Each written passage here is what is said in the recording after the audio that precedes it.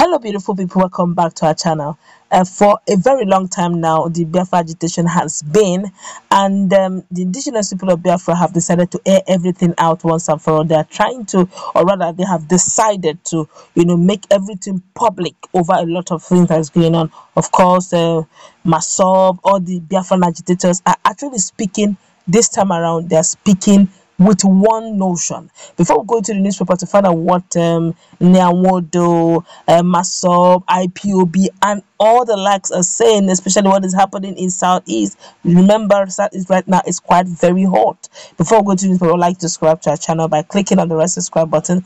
Beside it, you see bell notification icon. Please go ahead, click on it to get notified as soon as update our channel on YouTube. Well, for the often time, the indigenous people of Biafra, IPOB, has washed its hands of the incessant taking down of people in the southeast. The pro Biafran group, in a statement issued by its media and publicity secretary, Emma Powerful, condemned the unending, unprovoked movement that is going on. Well, I quote him we restate our belief in peaceful restoration of Biafra. IPOB has no hands in the senseless movement going on in our territory. We are freedom seekers and will remain peaceful in our pursuit for freedom of Biafra, IPOB said.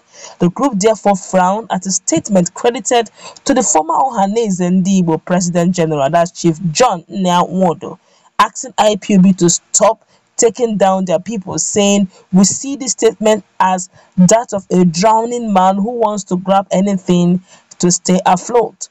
IPOB asked Nwodo if he had investigated those who, who took turn and attacked Ajalli police station and confirmed they were IPOB?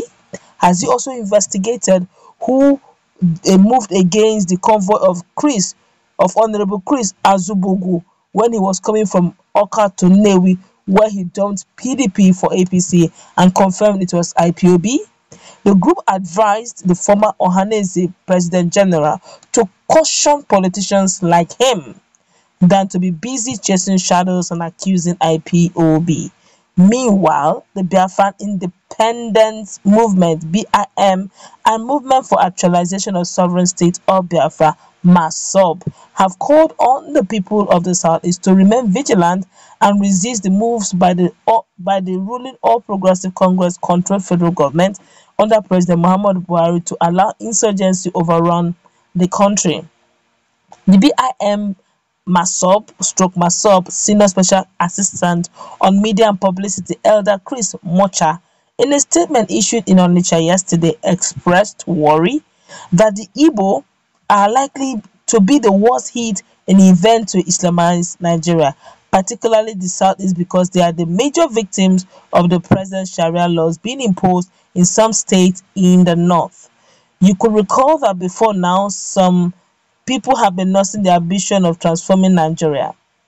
It noted also, the group also appealed to the Akwa Ibom State Commissioner of Police, CP Mr. Andrew Amiengheme, to release Mr. Akaidem Afyon Akpan, who had been reportedly detained in in Ikot Akpanabia Divisional Headquarters, Uyo, since May this year for supporting Biafra's self-determination struggle. The group said that the couple, a seven policeman and his wife, Mrs. Blessing Akpan, are being punished because they were appreciating the untiring effort and the non-violent methods of Chief Ralph Uwazuruike to achieve Biafran sovereignty through peaceful means. All right, um, quite a lot was said here. Uh, but let's start with what um, Wonder Chief Nwodo said. Uh, John Nwodo for for the records, just to keep it uh, keep us abreast, uh, keep our memories afresh. John Nwodo actually handed over to the two fractions now that we don't even know which one is exactly the president of uh, Ohanaeze Ndigbo. We have the um, Isiguzoro fraction, and uh, we also have the um, Prof. Obiozor fraction. Okay, so uh, Unyawodo was the president general then, and now um, I guess based on the statement he made that Emma Powerful got hold of was that uh, maybe IPOB was actually in charge and involved in all the menaces going on in Southeast, and he was calling them out that they should stop the menaces that definitely is not um, in the favor of the Ndigbos. Of course, um, Emma Powerful have decided to respond to him and to his claim, although I didn't see the statement made by Ohanaeze Ndigbo John Nwodo. I didn't see the statement and they also didn't hear it. I'm just actually hearing it for the first time from Emma saying that um, uh, the IPB was actually involved in all the issues going on in Southeast. But Emma Powerful said to debunk it, saying, look, uh, this whole thing is actually political, politically driven. But as a name he called him that caught my attention. He called him a politician. He said, warn your fellow politicians, which means he's saying that now what is a politician. Don't forget one of the criteria of being um, PG, that's President General of Ohanaeze Ndigbo, or any sociocultural group, whether Afenifere or Arewa and the rest. One of the key, uh, you know, proponents is the fact that you must be apolitical. You must neither belong to any party. You must be so apolitical so, so that when you speak, you are speaking with um sense of justice, equity, and fair, fairness. Okay, but Emma Powerful just called me politician, saying, "Look, tell your fellow politicians." So was actually driving home a different narrative, saying that this uh, man who was uh, uh, honorable that was uh, waylaid on the road, his convoy waylaid, was a case of um, political maneuvering that has a lot of political undertone that he moved from AP from PDP to P, APC. So he's actually insinuating that there could be more of um, a political issue than an Ndigbo issue.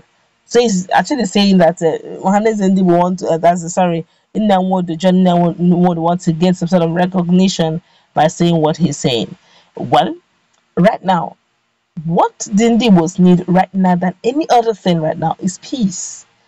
All right. Um, just some hours ago, um, Governor Hope Uzodinma said, "Look, it's, it's ready to fish out all the miscreants disturbing that. Henceforth, there shall be peace in the land of Imo and all that." But the truth is, right now, I, I think we should uh, we should start moving towards factual actualization, as in actualizing issues, actualizing what is on ground, no propaganda if there's there, we are asking for security, let there be securities on ground to protect the people.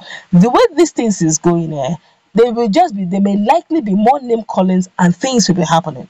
Whenever there's chaos, usually even people who are not even from that state uh, non-state uh, uh, uh, state actors can actually enter and begin to do a lot of things in the name of whatever names you have decided to get comfortable calling or calling a dog a bad name, whatever it is. But I think everybody should be vigilant. And it's going to be okay. See the scenario. You keep calling IPOB, IPOB keep denying it, but things keep happening. So who is doing this? I think all hands should be on deck to see how we can fish out, and whoever that is caught should be prosecuted and justice should be maintained so that peace may return to that region. Let's visit that conversation, please. What's your take on what?